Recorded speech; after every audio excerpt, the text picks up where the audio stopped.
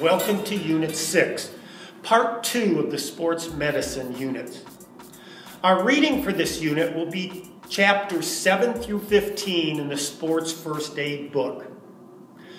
One of our major assignments is the Sports First Aid questions you can find under the Doc Sharing tab. Simply fill in the answers to these questions and drop them in the Dropbox titled Sports First Aid Worksheet. We also have a case study titled Margie, where you can get to apply some of the information that was given in class. Another application assignment you can find under Doc Sharing is titled Crisis Management. Here, you will fill out a checklist using your imagination and coming up with a typical crisis you're likely to face as a coach.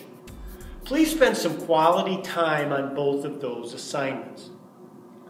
Now, your sports medicine test comes at the end of this unit and it needs to be proctored.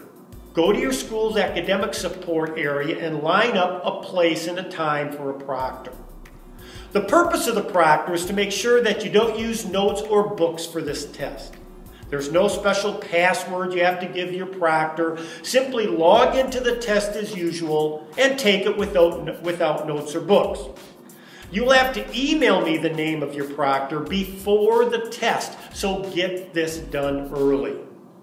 All right, let's head on into Unit 6.